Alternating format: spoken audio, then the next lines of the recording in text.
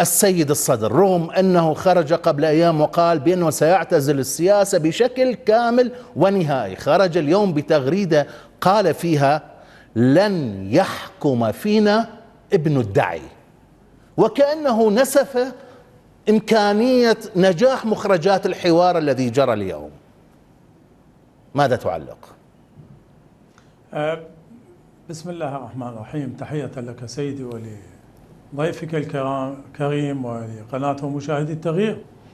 يعني بطبيعة الحال يعني بغض النظر عن ما يحدث الآن خلال الجولة الثانية من اللقاء الشامل ما بين كل الفرقاء السياسيين.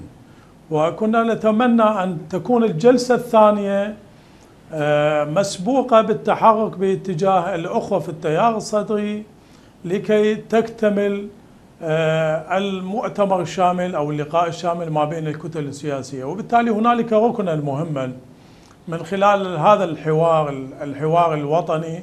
وأعتقد الآن يعني طرحت قضية لا شرقية ولا غربية أو قضية يعني لا يحكم فينا الدعي ابن الدعي يعني قد تكون هذه رسائل مبطنة برفض هذا اللقاء وكذلك رفض ما طرح وبالتالي نبقى نحن أسيري أزمة الانسداد السياسي ولن تحل. نعم.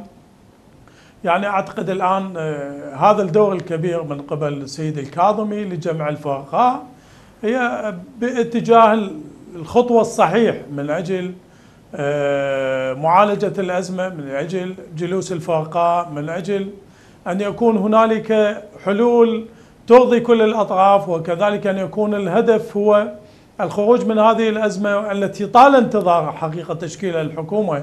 ونحن على أعتاب الشهر العاشر اذا يعني القضية لن تكتمل إلا بحضور الأخوة في التيار. نعم يعني من ضمن النقاط الستة بتشكيل فريق لإنضاج آه، القضايا التي طرحت وكذلك في إقناع الأخوة في التيار الصدري. أما يعني هنالك حقيقة لابد أن نشير لها بأن هل هذا يعني اعتزال السيد الصدر عن العملية السياسية هو اعتزال للكتلة الصدرية التي استقالت نعم. أنا أعتقد أعتقد جازما بأن التيار الصدري لحد الآن هو بالعملية السياسية ويمتلك قاعدة شعبية واسعة